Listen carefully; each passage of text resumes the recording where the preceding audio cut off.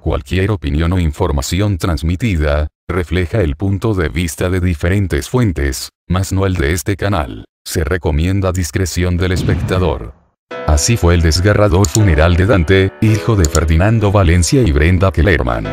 Amigos y familiares de Ferdinando Valencia se reunieron para darle el pésame y decirle adiós al pequeño Dante. Luego de meses enteros de intentar salvar al pequeño Dante, Brenda Kellerman y Ferdinando Valencia sufrieron la pérdida del bebé, quien falleció tras una serie de recaídas en la meningitis.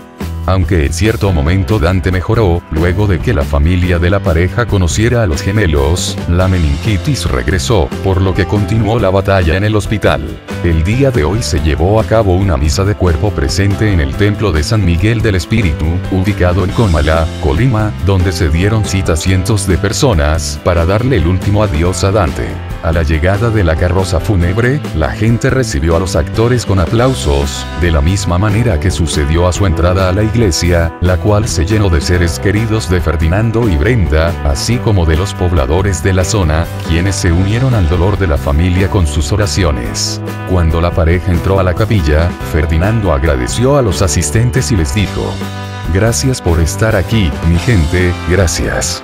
Además, en su cuenta de Instagram, escribió un mensaje de despedida para Dante, en el que expresó que la despedida de su bebé fue en la iglesia que marcó su crecimiento, y finalmente, convocó a una cadena de oración por el descanso de Dante.